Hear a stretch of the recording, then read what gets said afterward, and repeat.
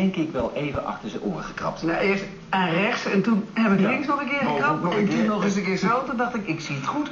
Maar ik dacht eigenlijk ook best wel gezellig.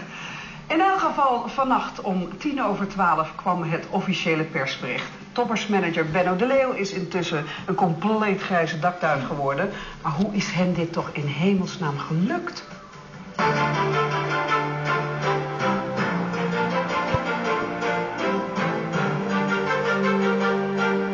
Dan kijkt naar het succes wat je met elkaar gehad hebt en je kijkt naar het gekift en dat het eigenlijk allemaal helemaal nergens over gaat. Waar zijn we dan met elkaar mee bezig?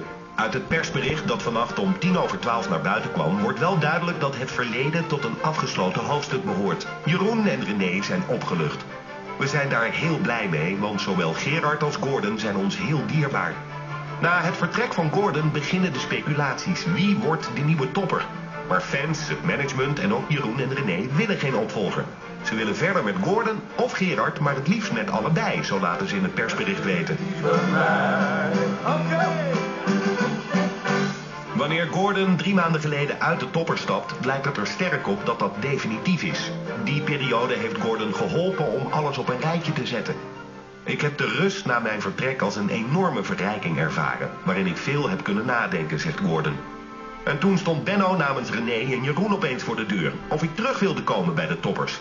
Ik heb daar goed over nagedacht en uiteindelijk de knoop doorgehakt. Ondanks zijn besluit geeft Gordon ook aan het feest dat de toppers avond aan avond neerzetten te missen. En hij wil zich weer dolgraag in een glitterpak hijsen. Toch rijst de vraag of de nieuwe formatie binnenkort ook weer uiteenvalt. Ik denk het niet. Natuurlijk kwamen wij toch toevallig met de camera's bij Gerard en René. En die hielden niet helemaal hun. Na een eindeloze bitchfight verleiden René Vroger en Benno de Leeuw hun kibbelende vrienden voor een verzoeningsdiner.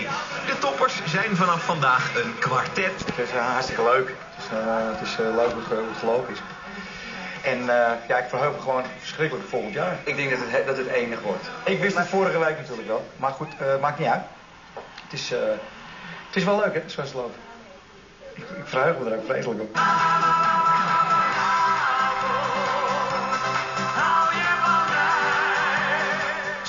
het Gerard Joling voor de wind. Voor het succes hoeft hij het dus niet te doen. Toch komt hij na een jaar gillend terug bij de toppers.